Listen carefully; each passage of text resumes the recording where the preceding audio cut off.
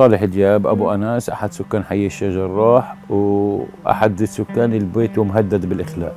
إذا بدك تحكي على الفترة الأخرانية هذه إشي أو إذا بدك تحكي على فترة حياتنا كلها إشي تاني.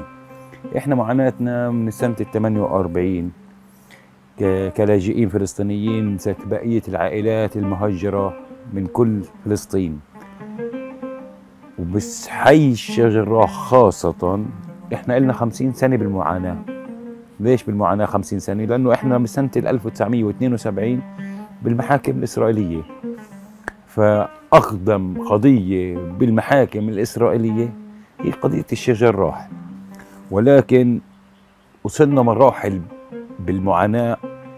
أول شيء كانت واطية ولكن درجات صارت هلأ عالية جدا. بال 2008 تم إخلاء دار الكرد مكامل الكرد. فبلشت الحارة تتغير شوي شوي لأنه الشجر راح معروف عنه أنه الشجر راح إيه مكان هادي حي هادي جدا فيش مشاكل جميل جدا إيه عيلة واحدة فيش ولا مشكلة. وكل بيعترف هالإشي هذا. من 2008 لما دخلوا المستوطنين على الشجر راح تغيرت حياة الناس. نفسيتها تغيرت يوم يوم مشاكل يوم يوم زعرنة يوم يوم شرطة. هذا أثر علينا نفسيا وأثر على أولادنا كمان نفسيا. وعلى اللي شفناه من الهمجية الاحتلالية كيف بيتعاملوا مع الناس كيف بيتعاملوا مع الأطفال وكيف بيتعاملوا مع الشباب. فمن هون صارت حياتنا معاناة كبيرة.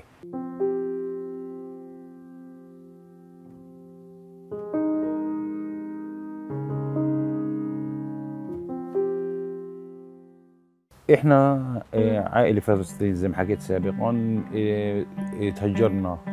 الأجداد من يافا وتهجرنا.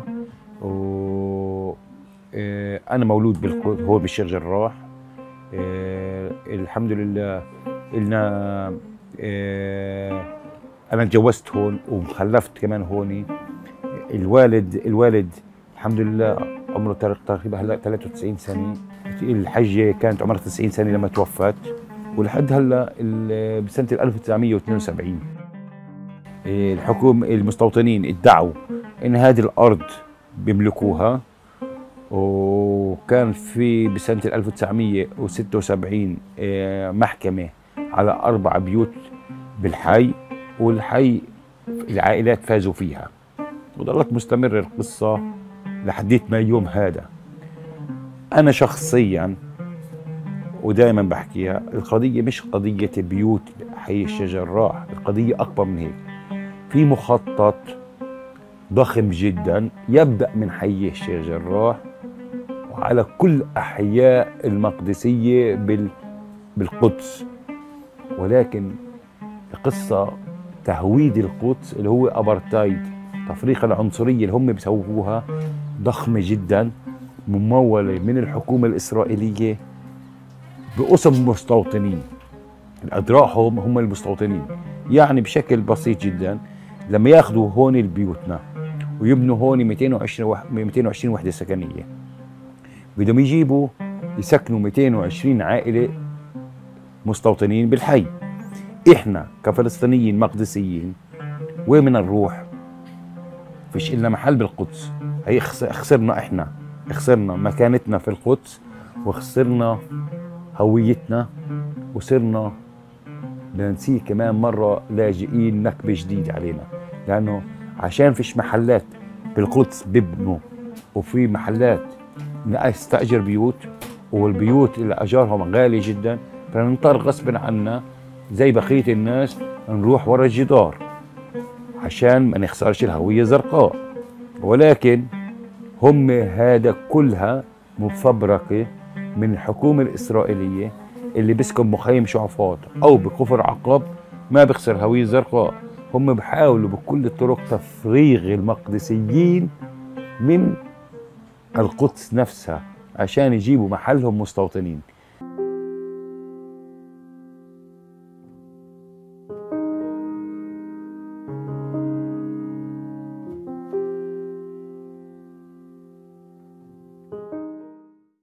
آخر فترة قبل شهرين نزلوا post على ال group المستوطنين إيه، إنهم بدهم يحرقوا بيوت الفلسطينيين العرب حي الشجر الراح فهذه كانت عن جد صعبة جدا شخصيا علي إيه، على أولادي لأنه هيو فيش وراي وراي طيب متر متر بيني وبينهم. ف إيه، الأولاد خافوا نفسيا خافوا وانتقلوا من البيت. أنا تقريبا هلأ عايش لحالي هون بيجوا هون بالنهار وبالليل بيناموا عند دار حماتي لأنه خوفا خايفين.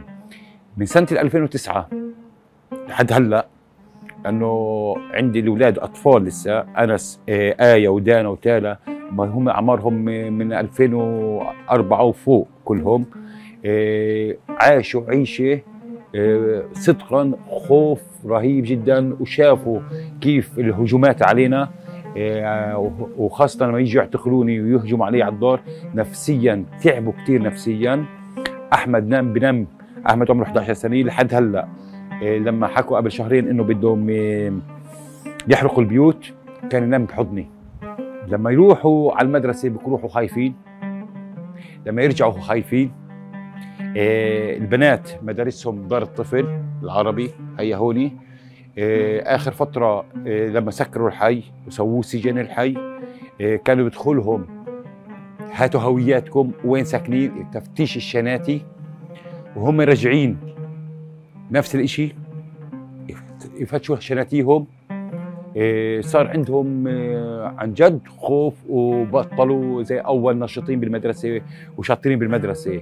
فنفسيتهم صارت شوية شوية إيه، يعني صار يخافوا كثير يخافوا وفوق إنهم يخافوا انه درجاتهم بالمدرسة نزلت كثير فإن شاء الله إنه بعد ما صرنا ما إحنا شايفين الوضع هدي إيه، إيه، هلأ الصيف بنحاول قد ما بستطيع إنه أغير عليهم الجو. زي ما فرجيتكم إيه، أنا التهب الحمام تبعه وجبت له دجاج وهذا لأنه بحب الحيوانات. بخل بحاول قد ما أستطيع أن أخفف عنهم نفسيتهم. أخوي جاب لهم حتى لأولاده بركة السباحة. أنا نفسهم يروحوا على البحر مش قادرين خوفين. كل يوم بهجموا علينا. غاز مسيل الدموع مي العادمة. من الذكريات. اللي أنا عشتها وبقدرش أنساها. أسألوا لي كيف إيش الشجر إيش الشجرة بالنسبة لك أو إيش بيتك بالنسبة لك حياتي اختصار كلمة. إيه، أقل شجرة بالبيت هذا اللي زرعناها الحج أو الحج زرعوه أقدم من الاحتلال.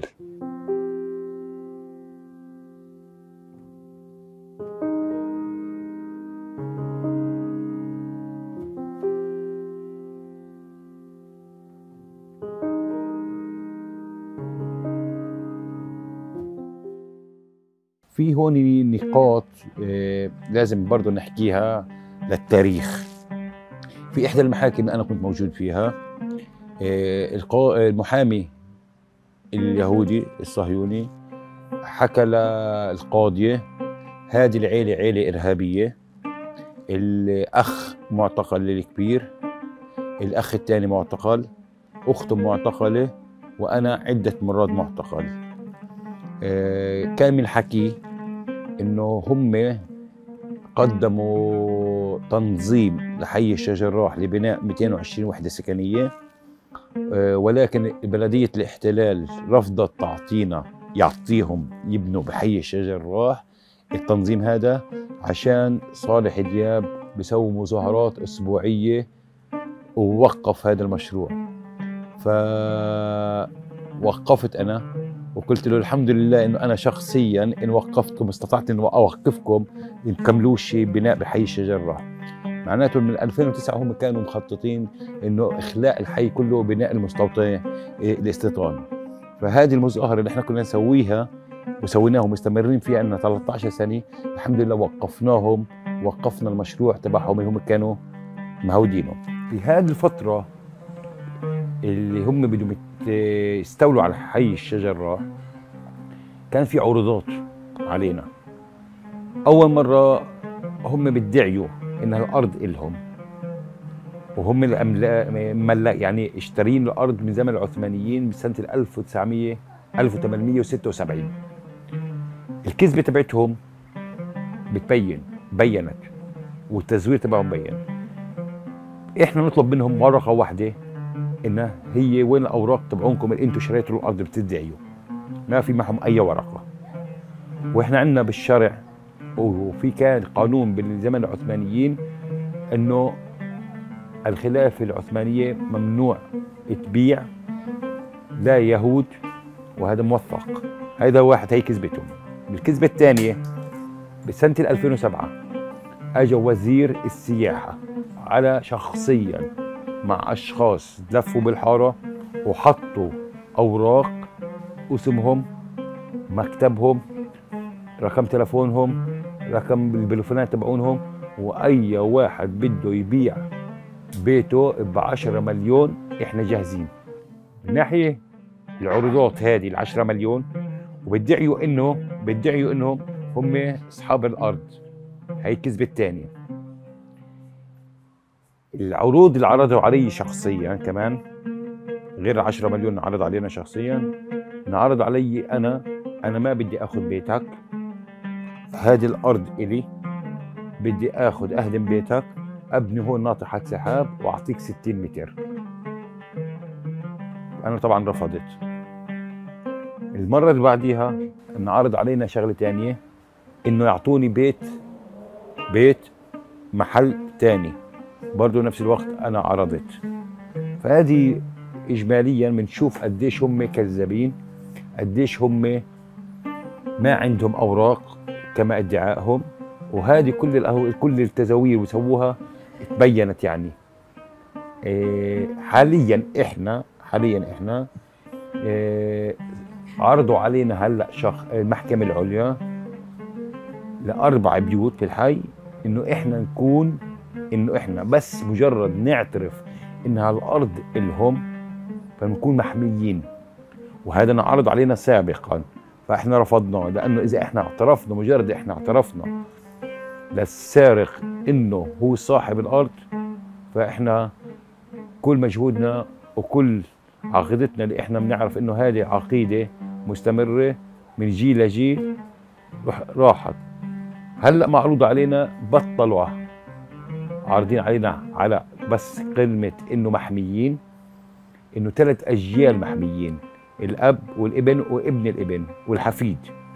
ولكن إحنا حاليا قدمنا الأوراق أربع عائلات قدموا أوراقهم وفي محكمة جديدة نستنى فيها. ولكن شخصيا أنا أنا لا أعترف المحاكم الإسرائيلية إيه ما في خير منهم. إحنا مرابطين صامدين وإن شاء الله مستمر زي ما حكيت امبارح بالمظاهرة حتى التحرير.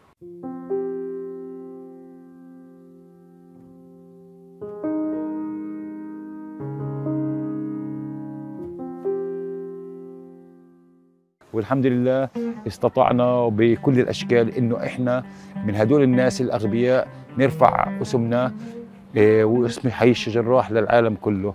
فبنلاحظ شغلة بسيطة جدا. لما يجي ابن كبير عضو الكنيسة يفتح هون آه، مكتب له وبرمضان وتم آه، الاعتداء علينا آه، بكلمة الله أكبر. وقت رمضان بالضبط تم الاعتداء علينا هون بهذه الساحة.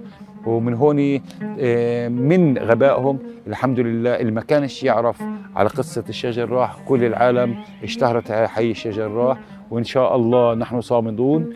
إيه، وبوعدكم إن شاء الله سوف أبقى على العهد لن نرحل. سوف نبقى إلى تحرير فلسطين بإذن الله تعالى.